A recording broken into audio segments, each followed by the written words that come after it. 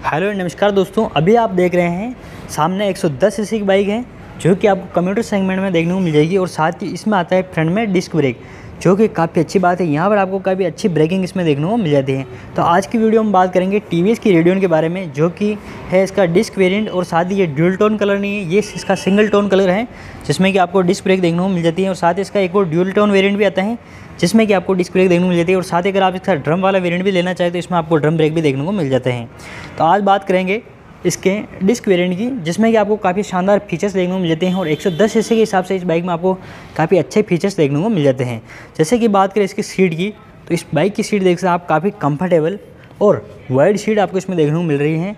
और साथ ही बात करें तो यहाँ पर देख सकते हैं आप, इसमें आता है इक्को थर्स्ट फ्यूल इंजेक्शन जो कि टी की पेटेंट टेक्नोलॉजी है, जिसमें कि आपको फिफ्टीन परसेंट ज़्यादा माइलेज देखने को मिल जाती है। और साथ ही यहाँ पर देखते हैं रेडियोन और यहाँ पर आता है इसमें टी की ब्रांडिंग इसमें आते हैं टैंक पेड जो कि आपके टैंक को प्रोटेक्ट करते हैं, जो कि काफ़ी अच्छी बात है। और साथ ही इसमें देखते हैं आप कार जैसा आता है इसका इंस्ट्रूमेंट क्लस्टर जिसमें कि आपको काफ़ी शानदार और यूनिक फीचर्स देखने को मिल जाते हैं। और बात करें इसके स्विच की क्वालिटी की तो इस बाइक की क्वालिटी स्विच की जो क्वालिटी है, वो आपको काफ़ी बेहतर देखने को मिल जाती है। और सेगमेंट में फ़र्स्ट ऐसी बाइक है, जिसमें कि आपको देख सकते हैं फ्रंट में ब्रेक देखने को मिल रही है स्विच की क्वालिटी काफ़ी बेहतर देखने को मिल रही है। यहाँ पे इसका ओवरऑल डिज़ाइन आपको काफ़ी बेहतर देखने को मिल रहे हैं। अगर आप 100 सीसी या 110 सीसी में कोई बाइक देख रहे हैं कम्यूटर सेगमेंट में तो ये बाइक आपके लिए काफ़ी अच्छी साबित हो सकती हैं। जैसे कि बात करें तो यहाँ पर आपको इसमें 110 सीसी का इंजन देखने को मिल रहा है, जिसमें कि आपको काफ़ी अच्छी पावर देखने को मिल जाती है और काफ़ी अच्छा माइलेज इस बाइक में आपको देखने को मिल जाता है। साइलेंसर देख सकते हैं, आपको पूरा क्रोम में देखने को मिल जाते हैं, जो कि देखने में काफ़ी ज़्यादा ही अच्छा दिखाई देता है और साथ ही इसमें पीछे आपको 110 mm का ड्रम ब्रेक आता है और बात करें इस लेफ़्ट साइड से तो कुछ इस प्रकार से आती हैं टीवीएस की रेडियोन। यहाँ पर आपको इस साइड में आपको टैंक पेड देखने को मिल रहे हैं। रेडियोन और टीवीएस की ब्रांडिंग आपको यहाँ पर देखने को मिल रही है और साथ ही बात कर लेते हैं। तो यहाँ पर देख सकते हैं आप, इसमें फ्रंट में आती हैं 240 mm की पेटल डिस्क, ये नॉर्मल डिस्क नहीं है, ये पेटल डिस्क है, जिसमें कि आपको काफ़ी अच्छी ब्रेकिंग देखने को मिल जाती है और साथ ही पेटल डिस्क होने की वजह से इसमें आपको काफ़ी अच्छा बेनिफिट भी है, जैसे कि ये जल्दी से गर्म भी नहीं होती है और ब्रेकिंग काफ़ी बेहतर हो जाती है इस बाइक की।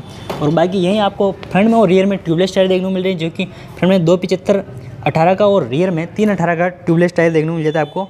आगे और पीछे अलोविल आपको देखने को मिल रहे हैं, यहाँ पर देख सकते हैं आप, बट यहाँ पर देखने को मिल रहा है। इंडिकेटर की बात करें तो फ्लेक्सिबल इंडिकेटर आपको हेलोजन बल्ब के साथ में देखने को मिल रहे हैं। हेलोजन हेडलाइट है इसकी और साथ ही यहाँ पर आपको इसमें डीआरएल भी देखने को मिल जाती है।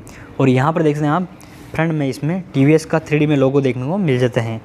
तो यही था आज की इस वीडियो में टी के रेडियोन के बारे में, जो कि आपको काफ़ी शानदार फीचर्स ऑफ़र करती है इस सेगमेंट के हिसाब से। और बात करें इसकी प्राइसिंग की तो इस बाइक की प्राइसिंग स्टार्ट होती है एक शोरूम तिहत्तर हज़ार रुपये से।